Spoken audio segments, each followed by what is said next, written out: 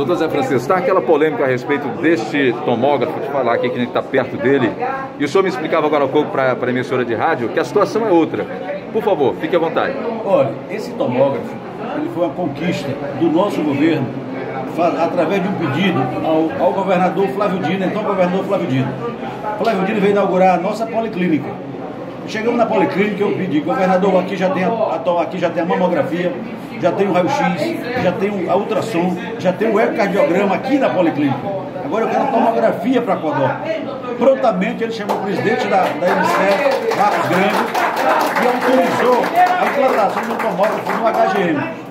O doutor Dualib, um médico importantíssimo, experiente, ele falou aqui, foi muito, foi muito, muito conciso quando ele disse, é o primeiro tomógrafo dentro do hospital público no Maranhão. Quer dizer que esse tomógrafo ele é uma parceria da MCE do Estado com a Prefeitura de Codó. Tá? Então, aquele, a, aquela história que foi um contrato, que a Prefeitura contratou, isso aqui é mais uma parceria minha com o governo do Estado. E em breve, Carlos Brandão vai voltar a Codó tá? e vamos instalar um novo tomógrafo na cidade de Codó, para a gente inaugurar também com o governador. Por que, é que esse tomógrafo veio aqui?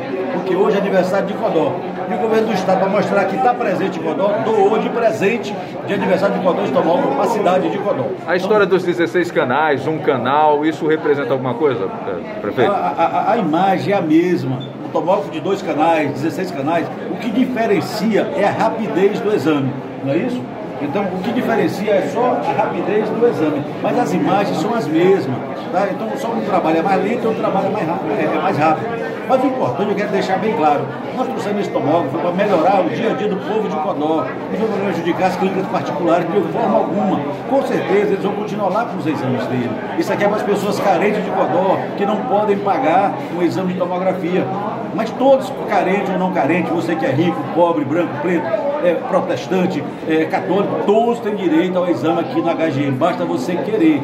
Não tem burocracia, vai ser o exame que chama porta aberta. Você chega e marca seu exame e faz aqui na, na, na, na HGM de Codó. Você tem uma ideia, os técnicos daqui que tão, vão trabalhar nesse aparelho são todos codoenses que trabalhavam no estado e outras cidades tá? É, é, é, trabalhava em Bacabal, trabalhava em Chapadinha, trabalhava em, em é, Presidente Dutra e voltaram para Codó para realmente fazer um bom serviço pela experiência que já tem em fazer tomografia. Então essa tomografia aqui é a tomografia pública na parceria entre o governo do estado e a Prefeitura Municipal de Codó. Obrigado, prefeito.